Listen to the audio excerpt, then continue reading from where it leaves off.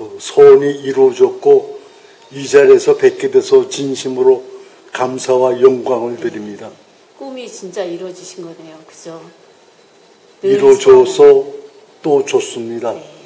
그리고 대통령님께서 상당히 그 인자한 모습이 저는 기분을 좋게 합니다. 네.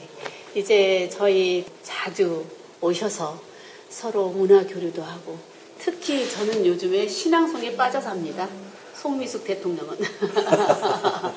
한국의 신앙송 발전을 위해서 어, 많이 그 투자도 하고 노력을 할 것입니다. 자주 오셔서 예, 교류합시다. 시에 대한 그 영적인 그런 얘기를 해주시는데 네. 저도 그런데 상당히 동감하고 그렇게 하고 싶습니다. 네.